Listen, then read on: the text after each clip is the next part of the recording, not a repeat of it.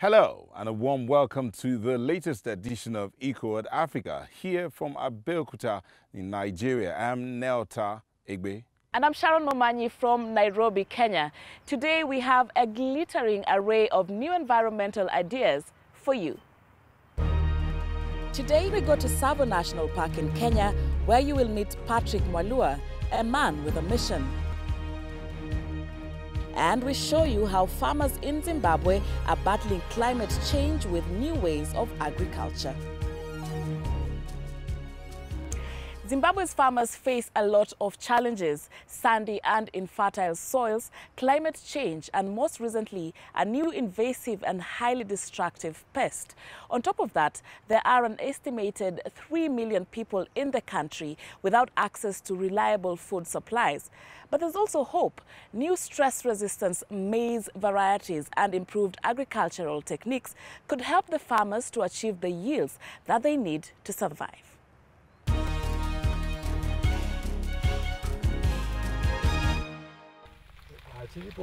Lazarus Nzembe looks at his field with disbelief.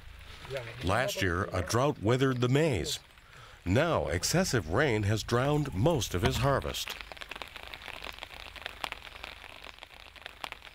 This unpredictable weather makes survival tougher with each passing year.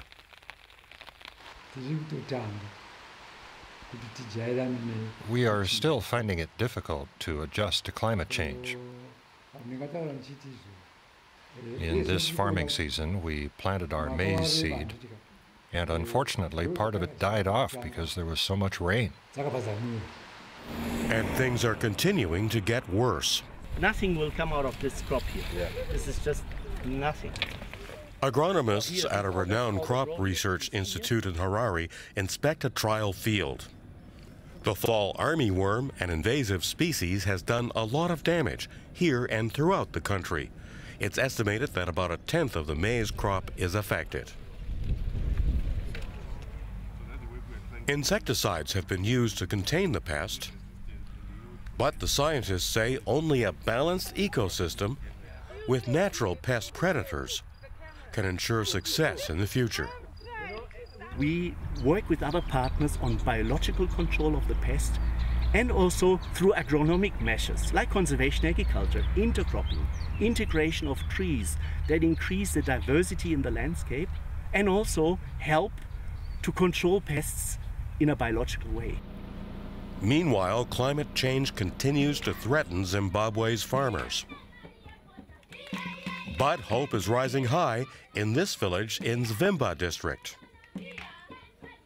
The region's farmers have all suffered harvest losses.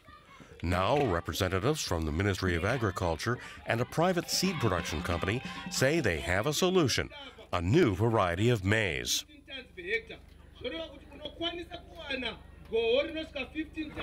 Its brand name is ZAP 61. The hybrid of traditional maize varieties is better adapted for both drought and excessive rain. It's said to yield 20 to 30 percent more than conventional maize. Lazarus Nzembe and other farmers are interested but cautious. The new maize requires new farming techniques, and it's more expensive. And the farmers would also have to spend money to fertilize the soil. Overall, I think this is a good maize seed. However, I might have to buy four sacks of fertilizer for my one hectare of maize.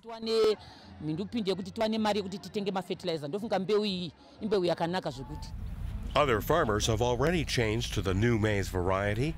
Philbert Moroe thinks farmers should try something new in order to achieve better results. What really astonished me is that on the two hectares worth that I planted, AgriSeed ZAP 61 outperforms the other alternative varieties with the same maturity dates. The results are quite impressive. ZAP 61 is up to 25% more expensive than traditional maize varieties.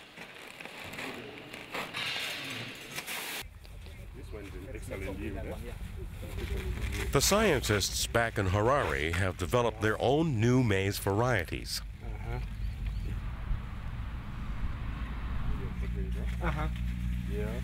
Okay.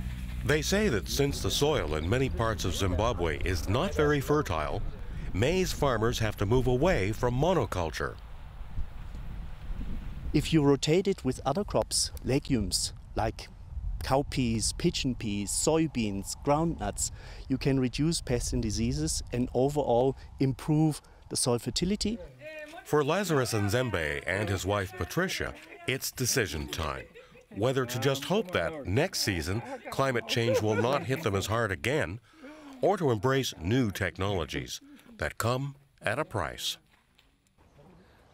So now let's move to your region, NT.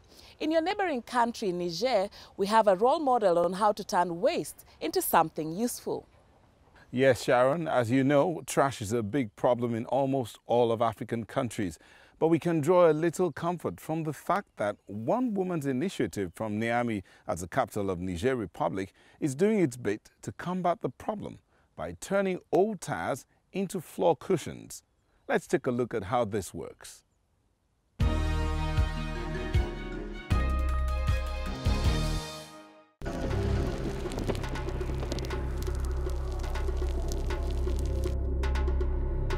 Niger's capital, Niamey, has no regular garbage collection, so trash is often burned at illegal dumping sites. When rubber tires burn, they release toxic substances. Environmental activist Amina Issa Ado has found a brilliant way to recycle tires, thereby creating jobs for local youths. Her recipe? Take a tire, wrap it in foam rubber, and decorate it with beautiful fabrics. That makes a seat cushion in the traditional style of the Sahel region. They sell for 22 euros a piece. The tourists and other customers who buy them say these cushions are more comfortable and even last longer than traditional ones. It's no wonder, they're made of rubber. Like that? If you are also doing your bit, tell us about it. Visit our website or send us a tweet. Hashtag doing your bit. We share your stories.